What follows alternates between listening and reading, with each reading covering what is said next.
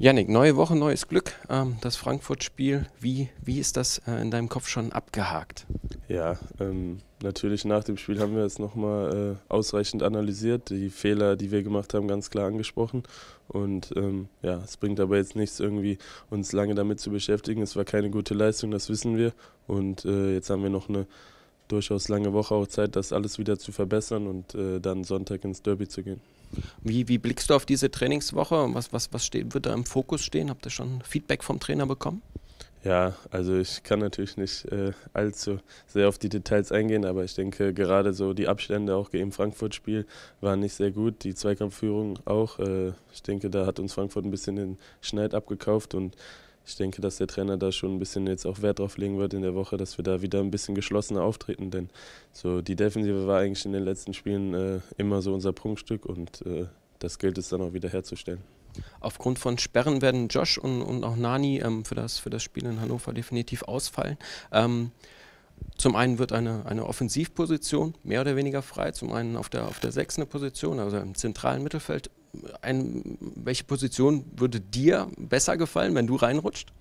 Ja, ich denke natürlich schon jetzt äh, die zentrale Mittelfeldposition äh, auf der 6 an. Ähm, aber ja, ich weiß auch, dass wir äh, einige Spieler haben, die auch äh, dafür in Frage kommen.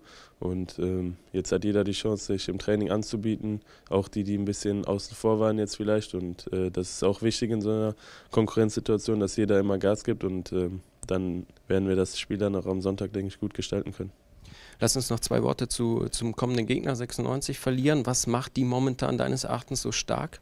Ja, ich denke, ähm, sie haben eine sehr stabile Mannschaft, stehen defensiv sehr gut. Das hat man auch auf Schalke gesehen, dass sie ähm, eigentlich dieses 1 0 sehr gut immer verteidigt haben und dann äh, also defensiv 0 zu 1 verteidigt haben und ähm, denke ich dann trotzdem immer äh, ein, zwei gefährliche Konter auch dabei haben. Und es äh, ist auch eine Mannschaft, die nie aufgibt. Die haben, glaube ich, schon sehr viele Spieler dann auch am Ende noch positiv für sich gestalten können. Und ähm, das hat man jetzt auch gesehen.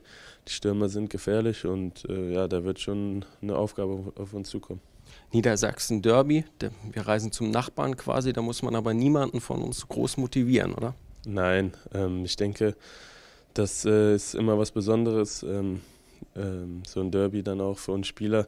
Wir wissen, was das auch für die Menschen hier im Umfeld bedeutet. Äh, es gibt viele, die auch immer auf der Arbeit sich dann begegnen und äh, wenn man dann so einen Derby-Sieg hat, dann hat man auch direkt so ein schlechteres Spiel, was man vorher hatte, dann auch vergessen gemacht und äh, deswegen ist das eine Riesenchance für uns, dann auch eine gute Reaktion zu zeigen. Danke dir, viel Erfolg. Danke.